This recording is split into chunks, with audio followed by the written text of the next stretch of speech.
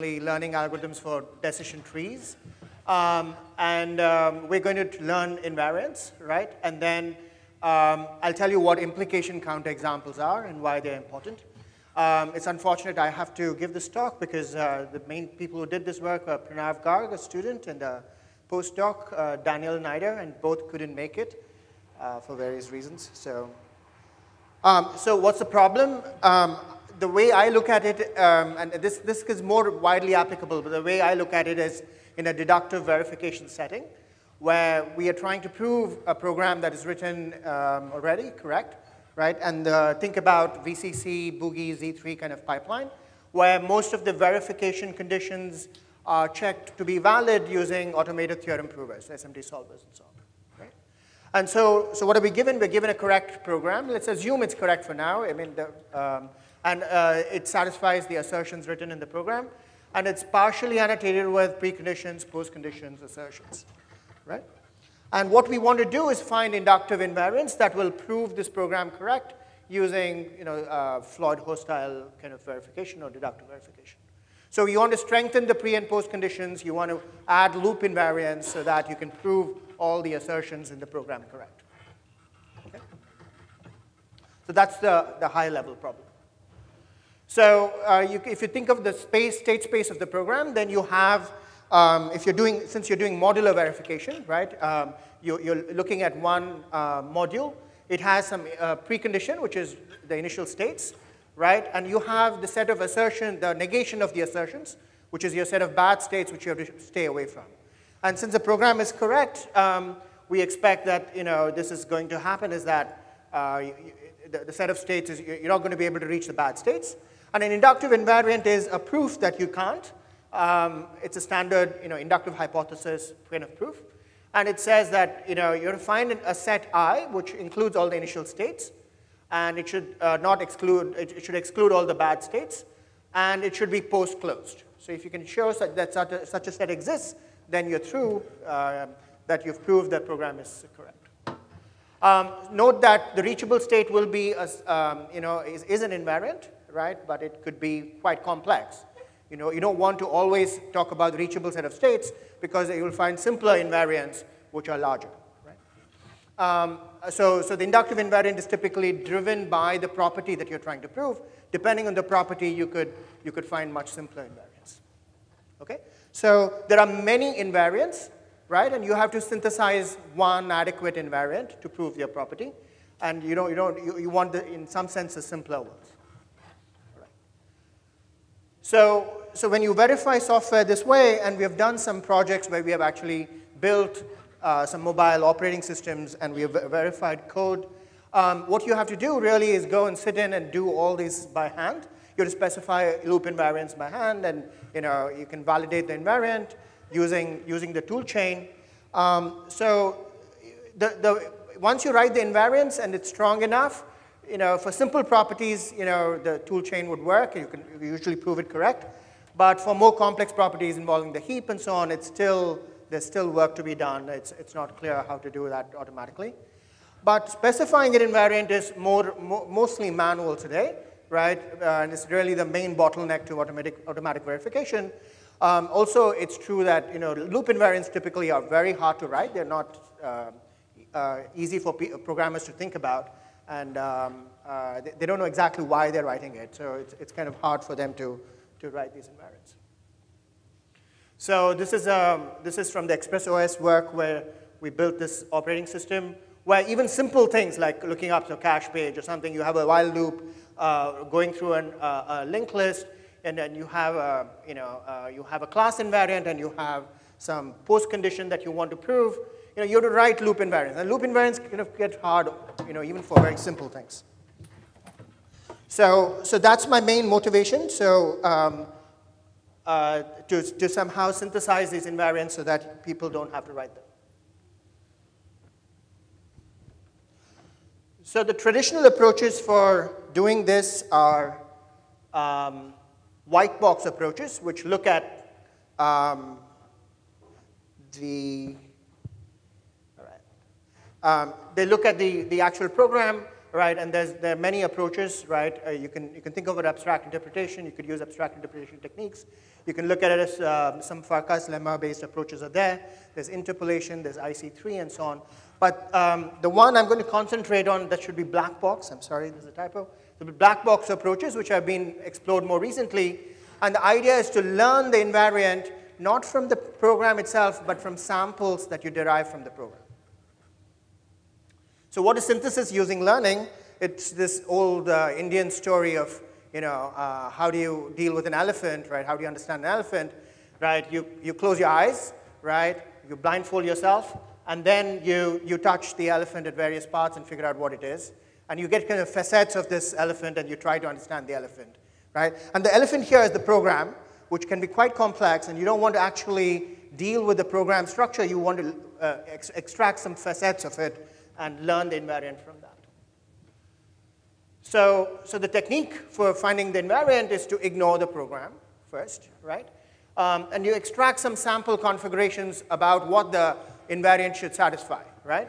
So certain things should maybe belong to the invariant, certain things should not belong to the invariant, and from this you can try to synthesize a formula that satisfies these samples right? And then you, you, you propose this, the learning algorithm will propose this invariant, and there's a verification oracle, which is a separate oracle, which knows the program, it knows the specification, right?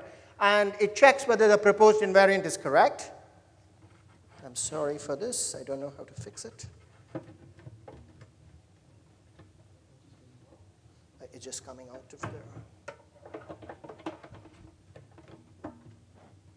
Okay, that's good. Um, Sorry?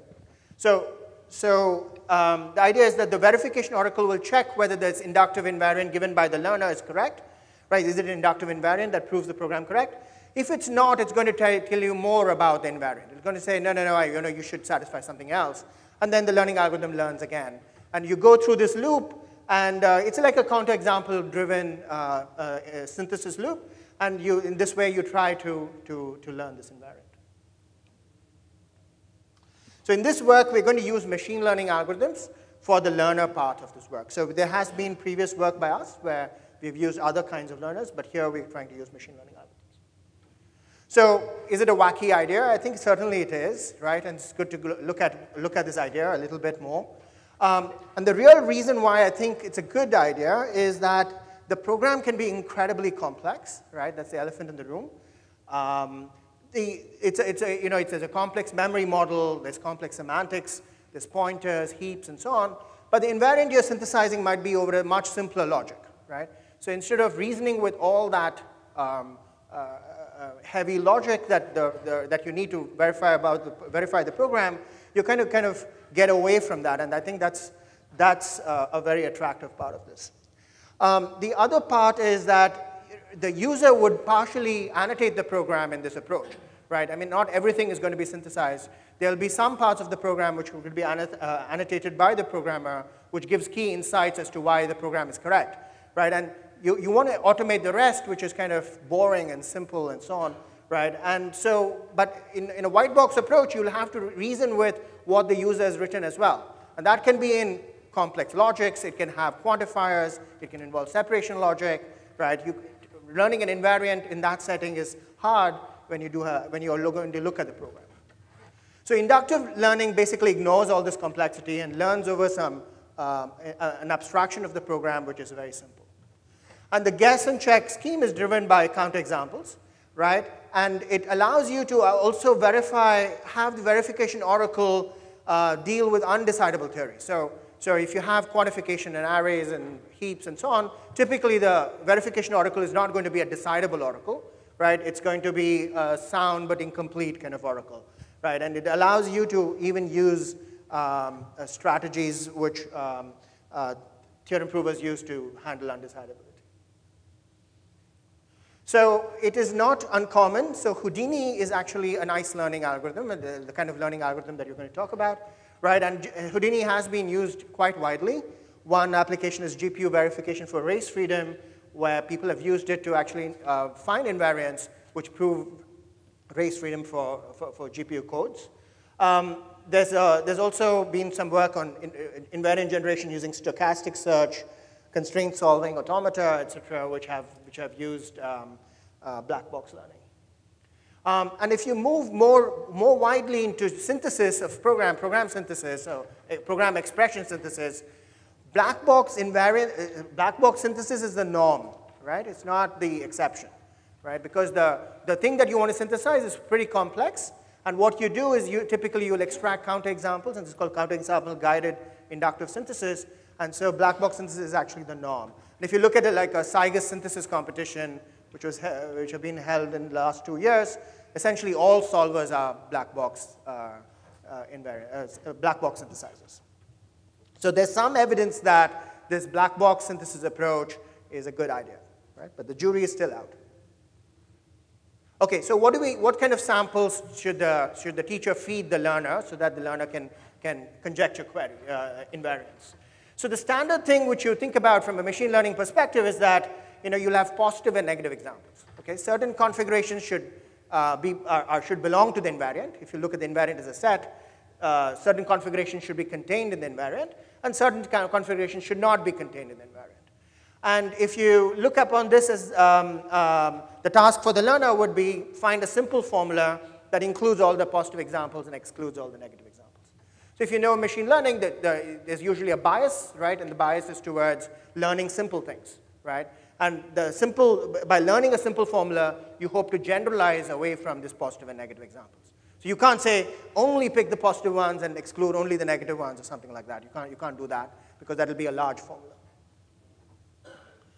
Right. But it turns out that this is not robust enough for invariant synthesis. And this is one of the biggest problems is that we can't take machine learning algorithms off the shelf and use them because it turns out that this is not robust, at least for, for invariant. Um, you need another kind of counterexample, which the teacher should be able to give you. And these are called implication counterexamples. And this consists of a pair of configurations C and C prime, right? And, um, and, the, and the learner should come up with an invariant which, if it includes C, then it should include C prime. So it could, it could choose to exclude C, in which case it, there's no constraint. Or if, but if it includes C, it must include C prime as well. Okay, and I'll tell you why these implication counterexamples are. Okay, so let's say this is your diagram, and somehow there's a good states and bad states, and the, and the, and the um, learner proposed this invariant H, which did not include all the pre-states of your program, right? All the states that you know to be reachable somehow, right, are not, are not there in the invariant. Then you can always propose a new positive counterexample and say, you must include this in your invariant. Okay? So, so clearly this is, the H is not correct, um, uh, and I can give you a counterexample for that. Similarly, if, it if it's too large and excludes, uh, includes bad states, right, and then you can, you can give a negative counterexample and say, you know, this is something which should not be, because if, if, if that's a part of the invariant, you know, the bad states are reachable, I don't, I, you know, that's clearly wrong. Right? But what happens if I gave you some, a set like this, right, which includes a lot of states, and I don't know anything about whether all these states are reachable, I know nothing about it. It's so far into the program that I can't figure out whether, uh, using any of my verification tools, whether those states are reachable, right? So I don't, I, I get I get, an, um, I get an invariant which includes all the good states I know of and excludes all the bad states I know of, but it's not inductive, right? So think about the loop, in, the verification condition uh, involved in, in checking the inductiveness of a loop, right? That does not hold, right? And then I know it's not inductive and I have to tell you why it's wrong, right? And the only thing I know, if, if I get a counterexample to inductiveness, I'll get two configurations, S1 and S2, right? S1 belongs to the invariant and S2 gets out of the invariant. Right? So I want to give you this sample. I really don't know whether you should include S1 or not. I don't know that, right? But I know that if you include S1, you better include S2 because otherwise the, the, the program, uh, the invariant that you propose is not going to be inductive. Okay? So that's how you get counterexamples of the form S1 arrow S2, which means that if you include S1, you must include S2. So, so if, if uh, there are two variables like this, then a typical sample would look like this. There are positive things and there are negative things, and there are these uh, implication count examples, and you have to come up with an invariant, right, which, um, uh, satisfies all these samples. So it should, it should uh, include the positive, exclude the negative, and it can't cut across the, these, uh, these, this, uh, um, th there should be no arrow from the positive to the negative. So, right, so, um, so what we build is new machine learning algorithms for decision trees that actually do this, right? And I'm going to go a little faster because I'm running out of time. So, so essentially, we, we, we synthesize formulas of this kind. We, we have vectors of Booleans and numbers, where Booleans and numbers describe the, uh, the configuration space. And these can be any function of your configuration. It can say X is a list, you know, this is the number of uh, elements in an array, anything you want you, you extract this information from this, and then the invariant is going to be a Boolean combination of numerical predicates, which numerical inequalities, um, and Booleans mentioned in your sample. And we're trying to learn a, uh, an invariant which is consistent with that sample. So there are many challenges in adapting machine learning algorithms, right? One challenge is that uh, machine learning algorithms make mistakes typically and you have to make sure that they do not make mistakes. But by, if you actually look at most machine learning algorithms, the reason why they make mistakes is a feature because they, they believe that the input could have noise. So you have to remove the components that, that deal with that so that uh, you know, uh, they do not generalize so much that they, they become inconsistent with the sample. The second one is that we need to handle implication count examples. So we had to you know, uh, build new decision um, learning algorithms. And the third thing is convergence. We'd like to prove a convergence theorem which says that eventually you will get the invariant if at all an invariant is expressible in the logic. Okay? So decision trees are um, express arbitrary Boolean, Boolean functions uh, of this kind. And um, so I will skip that, but um, um let me skip continuous attributes for now, and let let me give you the gist of the main algorithm. So the, the algorithm works by taking the set of samples and choosing an attribute, and this attribute has to be chosen carefully. Okay, this is what, what really makes sure that your decision tree is going to be small. And you use statistical measures, and we have developed new statistical measures that actually, um, uh, you know, for the ICE world, which work. Um, um, so then once you pick an attribute, you have to, the, the sample separate into two parts, those that satisfy the predicate and those that do not satisfy the predicate. And in the, in the traditional decision tree learning algorithm, there are no implication count examples, so you can just recurse on the left and recurse on the right. But with implication count examples, things are much more tricky, right? Because there are constraints that um, uh, map samples which are on the left to the right and vice versa. So it turns out that um, we can go ahead with the left tree, but as soon as we get to a leaf which is pure, which has only positive examples, we'll label it pure but um, some of these have implication arrows, and we will label the edges, ends of those implication arrows also with the constraint. So we immediately say, since this is positive, that's going to be positive as well, right? And um, by doing this, we can actually um, go ahead and build a decision tree, and you will, as long as things are separable, it will always work and give you a, a correct decision tree consistent with the sample. Um, we have many uh, measures, and unfortunately, I cannot go through all of them. Um, we have entropy, we, we have uh, measures based on entropy, which extends the entropy arguments in uh, classical decision tree learning. And we also have one which um, takes the entropy but uh, penalizes the number of arrows that you cut, number of implication pairs that you cut, because in the, in, every time you're not, you're not going to be able to uh, uh, not cut these implication pairs, but clearly you, know, you should try not to cut implication pairs.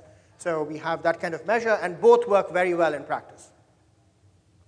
For consistency, we, we, we change the algorithm so that you know, we remove all the um, um, uh, things really like pruning, which are there to deal with um, uh, noise, and so we get actually a consistent learning algorithm. So what about convergence? We have a convergence theorem as well. Now, if you had only Booleans, it's clear it will converge because there are only finitely many, many uh, formulas, and so you will actually converge, right? Um, but um, recall that our, our, our, space is actually Booleans and also these inequalities, and there are actually infinitely many formulas here, right? And we want to build, uh, um, build one which is still convergent at this level. So one simple way to do this is to, is to bound your threshold, right? The inequalities have a threshold, you bound the threshold, and you look only for uh, decision trees that use up to that threshold right? And this is finite, so this will, this will always converge, this will always work. And if it doesn't work, then you can increment the, this, this threshold, right? So iterative, iteratively, you, you try to do it with a smaller threshold till you can't, and then you increase the threshold. But this works only if you have positive and negative examples, right? Because um, if a positive and negative example, you know, you can't, you can't separate a positive and negative example, then you know that you can't find a decision tree for it. But it turns out that for the ICE algorithm that we build, it's not necessarily true. And we have um, another algorithm which essentially looks at equivalence classes of, uh, of uh, defined by this M, and then it, um, it, uh, it builds the decision tree and it's guaranteed to always build a decision tree and converge to, a. Um, so the whole thing has been implemented over Boogie and Z3, and the ICE learning algorithm is like a machine learning algorithm, very separate from the program. And you can use it for other things as well. And uh, for, the, for the experiments, we, we, we have to feed all these numerical things uh, as well as uh, Boolean things. And we, we, for most of the um, examples, we do just uh, octagonal um, uh, um, you know, uh, expressions. And also, we, we, you can add, manually add anything that you want. You can add nonlinear things also uh, if you wanted to, and uh, the only problem is that the verification oracle should be able to deal with that. So I won't, I'll skip over the experiments. There are more than uh, 50 programs, small programs with intricate loops, up to 100 lines of code, which we have verified using this. All right? And here are some of the invariants learned. It has, there are nonlinear examples. There are uh, examples with disjunctions and large constants and things like that. Um, so this, this also won the uh, competition. This, this, this tool won the SyGuS competition for invariant synthesis. Um, so I will, I'll, I will uh, not go through this, but I'll conclude. Um, so the, the paper is really about adapting machine learning algorithms for decision trees, classical ones, to build consistent, convergent, ICE learning algorithms so that you can synthesize invariants. And the resulting learner is, quite, is competitive. I wouldn't say it's, it's much better or anything like that. It's fairly competitive and it's a, a very interesting idea. And the future work which I really want to do is uh, do this for much more expressive theories, right? Like, like, separation logic theories where we do have some kinds of solvers, but we, the learning algorithm does look like it will work well, and initial experiments suggest that it will work well and of course finding new applications where such uh, learning would be useful. Yeah. Thank you.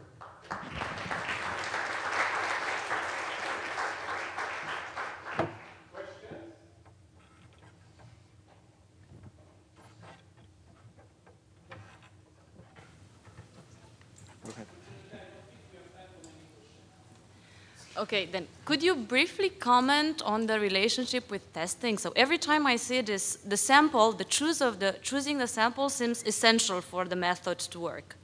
So often I have the feeling that these machine learning based techniques are as hard as testing sometimes, right? Having a good sample is equivalent as having a good set of tests that really coverages the, the goals.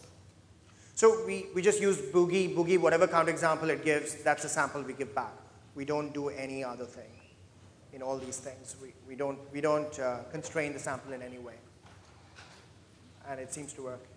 I guess I had a similar question. So uh, with the black box, especially when you have a black box, uh, sometimes people use the um, the shape of the logic in which you are learning the variants to not generate equivalent inputs, equivalent samples. Have you thought about this? Um, you mean move to a different logic? Which uh, yeah, it's, if it's the logic. Yeah. So that is decision trees for us, but I mean the, but that's that's what the the hypothesis space and the thing that we're trying to reduce is the is the size of the decision tree, but we don't have anything else. So okay. uh, we don't have a you know restricted logic which we learn from.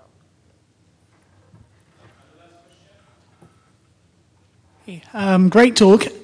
Um, is this generalizable to Boolean conditions um, that aren't necessarily just um, kind of classical loop invariants like the uh, relies and guarantees in um, a more concurrent setting?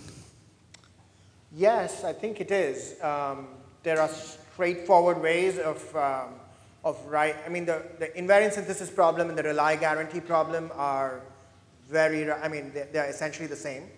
And there are papers that actually reduce one from another, which we have worked on. So definitely we can. And we, there are other settings where we, we have done that.